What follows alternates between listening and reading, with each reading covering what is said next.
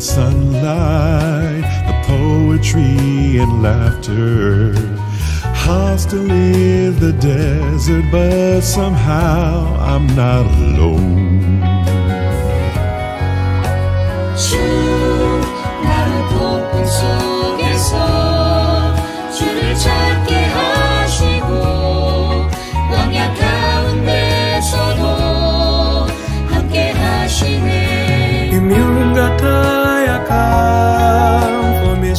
wo einsam sein. Denn auch in tiefster Finsternis leuchtet das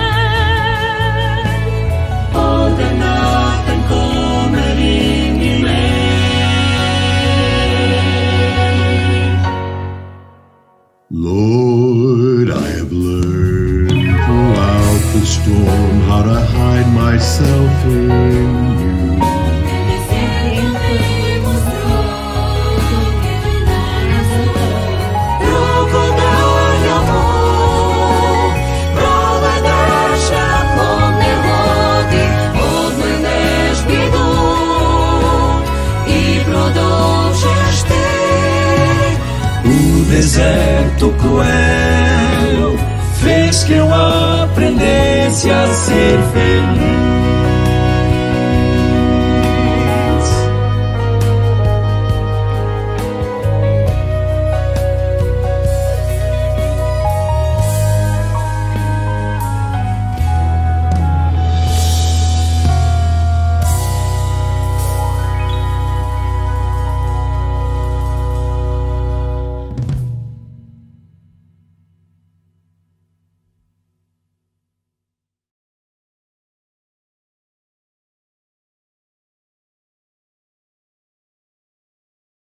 Good morning and welcome to the Vallejo Drive Church online adult Sabbath school Bible study.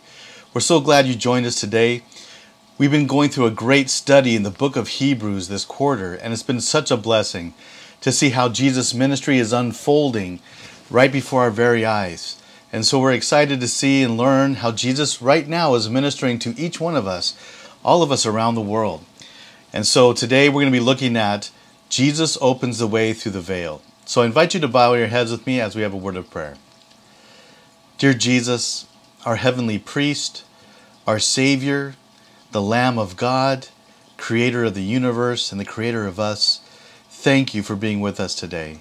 I pray that you will speak personally and powerfully to each one of us as we open up your word and as your spirit moves and transforms our very lives. In Jesus' name we pray. Amen.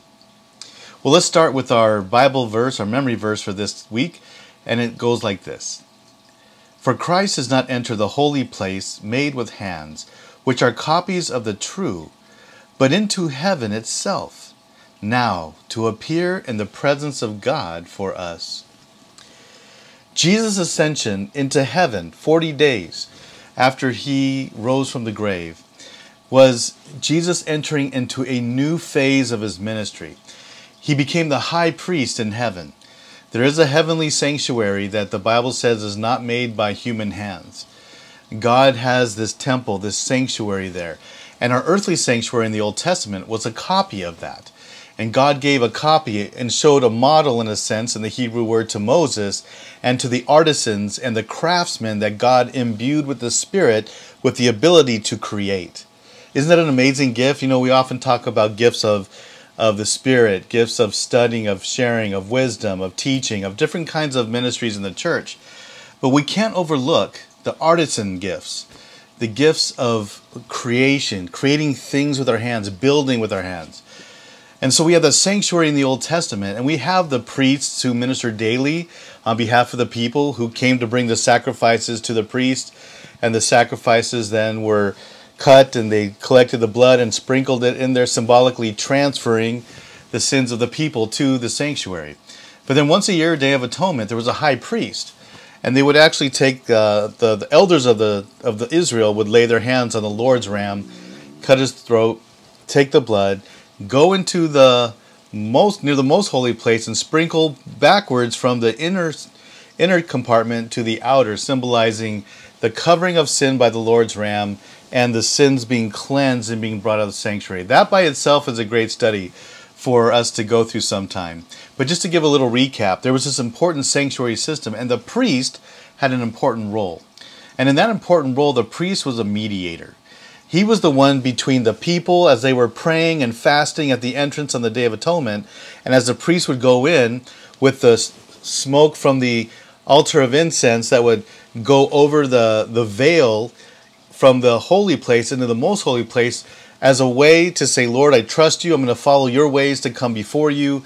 I'm going to do it the way you said it, God. And that's how they would come into God's presence. So the only way that Israel could come to God was through the sanctuary system, through the high priest on this special day. And as Jesus went up into heaven, even in his, before that, even his death, even his resurrection, all of these things calm were actually the culmination of the different activities that the priest, uh, his function and his role would be. So, for example, the lesson points out that there was a pilgrimage that the male Israelites would take three times a year. They would go on the day of preparation. There would be also symbolizing the priest waving the barley sheaf uh, as first fruits, and also the day of Pentecost. And they would take these journeys and go to Jerusalem and to, for a spiritual pilgrimage. And Jesus, in Jesus dying on the day of preparation, Jesus rising on the third day, symbolically, as, as the priest would later, after the day of preparation, would wave the sheaves, barley sheaves before God as a first fruits. And then the day of Pentecost, when Jesus ascended to heaven on the right hand of God. What's interesting is Jesus fulfilled all these pilgrimages that the Israelites made. He fulfilled the prophecy that were made about him. There are so many prophecies that Jesus fulfilled. We want to look at the goal of the pilgrimage that the Israelites went on three times a year to Jerusalem. What is the goal? What why what's the destination? Is it just to go to say some prayers? Is it just to go to do a sacrifice in Jerusalem? Is it to go to get some good food in the city that they normally don't get in their town? Well, actually as we look at it, there's a verse that kind of clues us in. It's in Psalms 42, verse 2, and it says this My soul thirsts for God, for the living God. When shall I come and appear before God? The author of the psalm is, is expressing the sentiment and desire of being in God's very presence. Not just doing the rituals, not just involved in serving, not just involved in activities, but actually being in the presence of God to be in communion with God, to be connected and close to God. And what's interesting is that there's the journey and the destination of the journey, right? Well, the destination is to be in God's presence. But as we live life, as we're on life's journey, we want to actually be in God's presence every moment of every day. This is our privilege through the power of the Holy Spirit and what Jesus has done for us on the cross. That God wants us to be in constant communion with Him, to be ever in His presence day by day. I also want you to imagine the joy of Jesus when He ascended into heaven after being on this earth for a while and ministering to His believers after His resurrection. That Jesus went to heaven and ascended there to take on this new role of our mediator, our, our minister, the one who is ministering to us right now from heaven above. And as Jesus is there, that when he first gets to heaven, I wonder, did he run to the Father? Did the Father run to? Did they embrace? Did the was there a cheer from the angels? What did the Holy Spirit tell him? It's exciting to to consider how there was this reunion again, where Jesus can be before the Father, just as the psalmist expressed, he wanted to be in God's presence. This is the goal of our lives to be in God's presence because that's what we were created for. I don't know about you, but there's a there's lots of reasons people want to go to heaven, but for me, I want to go to heaven. I want to live this eternal life because I want to see what God intended for us. I'm curious to see what God created us for for eternity. What's that going to be like to be in his presence? To be right there face to face with God that's what I'm excited to experience, and I hope you and I will be on that journey together and encourage one another along the way. Well, as we take a look at another part of this week's lesson, the question rises what's the need for a veil? In the Old Testament system, there was a veil uh, that was surrounding the courtyard where the sanctuary was. There was a veil for the entrance, there was a veil between the holy place and the most holy place, and only certain people could go into the courtyard. And from there, only certain people can go through the entrance, and only there, once a year, only a certain person, the high priest, could go into the most holy place. Well, these things were given as a protection for the people. I remember reading the Bible, and you'll find in the story Moses when he went up to see God on Mount Sinai. And oftentimes, when he would uh, meet God at the tent, at the tent when they were marching and going on their way to the Promised Land, and there were times that Moses faced, he was spending so much time with God, it was so bright that people said, put a veil on. They didn't have sunglasses like we have today to block out the light, but that would have been a different kind of light the light of God's presence, the light of God's holiness. And to protect them from this bright, shining light of holiness, God actually put around the sanctuary, he had the around the, the courtyard, he actually put the Levites to live, while the other uh, tribes were encamped around them, and at the center was the tabernacle. So if we read Numbers verse 53, it says this But the Levites shall camp around the tabernacle of the testimony, so that there be, may be no wrath on the congregation of the people of Israel. And the Levites shall keep guard over the tabernacle of the testimony. So the reason why there were these veils, the reason why God put a buffer of Levites around them between the tabernacle and the encampment of the different tribes is to protect the people. Remember, the priesthood, they were the mediators between the people and God. Even on the Day of Atonement, the people would stand out there in front of the tabernacle and, and fasting and praying, and the mediator, the priest, would mediate between them and God and pray on their behalf, or God may give them a message to give to the people. Whatever it was, there was a buffer. Which brings us to the next question of this week's study, which is but there is a new veil. So, what's interesting is heaven gave us a new veil. We no longer have the veils of an outer court or the veils of the entrance to a temple or the veils between the holy and the most holy place where only certain individuals could go. No, we have a veil that every believer is given access to go through to experience for themselves in God's own presence, to be before the Lord, to have a personal relationship with Him. This is what God is up to. This is what God desires. And what is this new veil? What is this new way? Well, Hebrews 10 19 through 22 gives us this picture. Therefore, brethren, having boldness to enter the holiest by the blood of Jesus, by a new and living way which he consecrated for us through the veil, that is, his flesh, and having a high priest over the house of God, let us draw near. This is an amazing truth and an amazing invitation.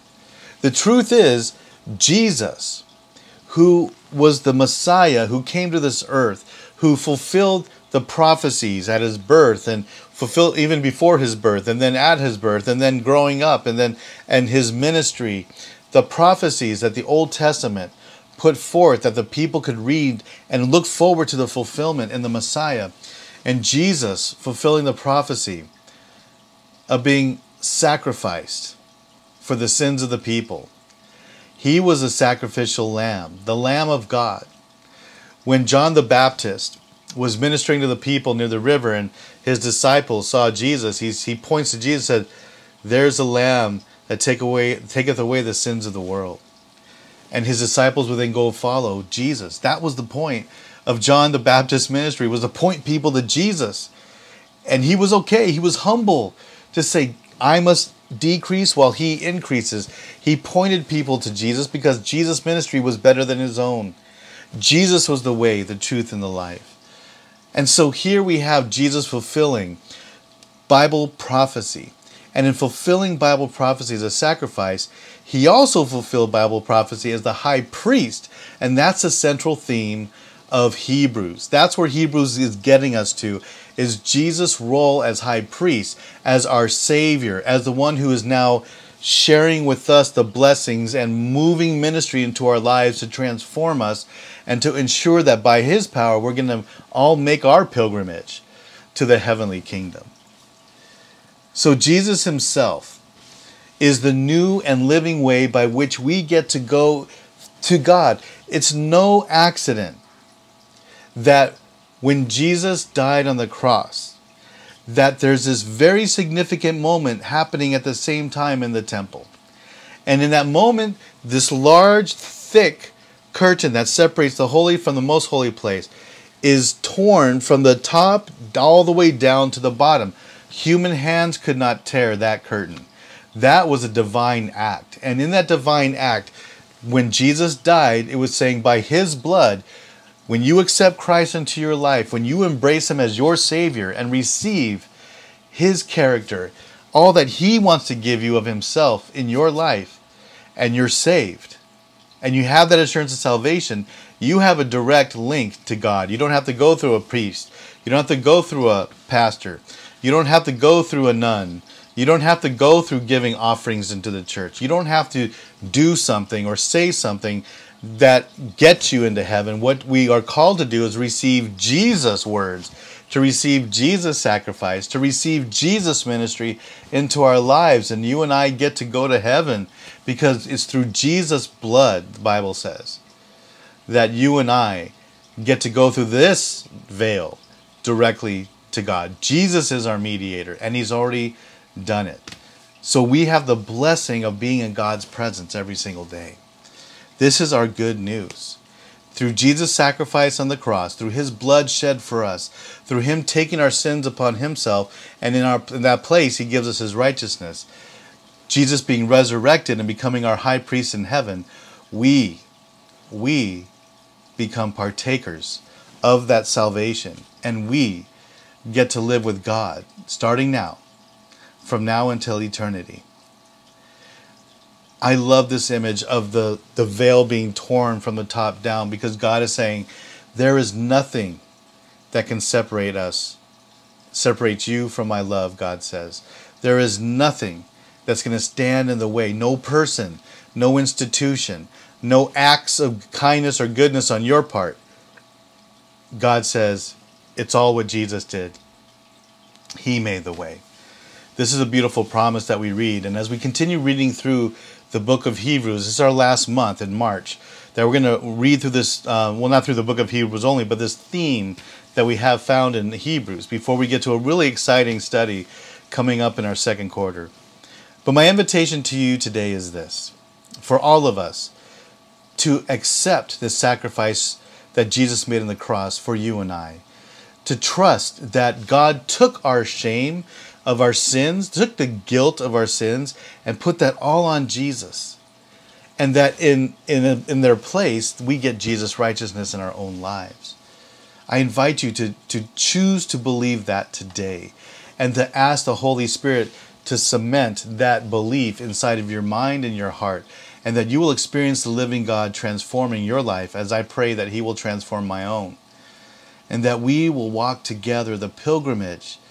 That, yes, we have the destination of God's presence now, But we also still on a pilgrimage to see him face to face like Jesus did when he ascended to heaven. When God brings us in the clouds of glory and meets us there in the air, that we get to be with Jesus for all eternity.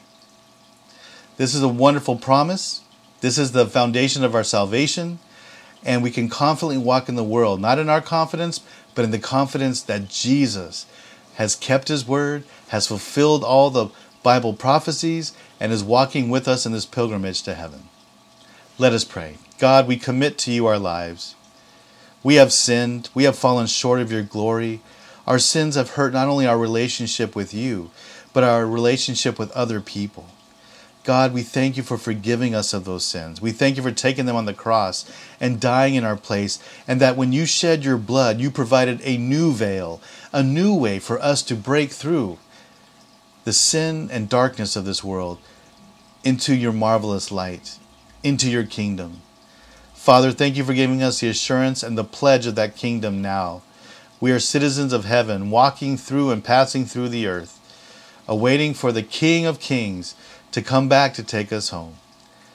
Lord, I pray that any of us who struggle with sin or struggle with this belief, that Lord, you would gently speak to our hearts and do what only you can do to transform us into people of faith and joy and trust.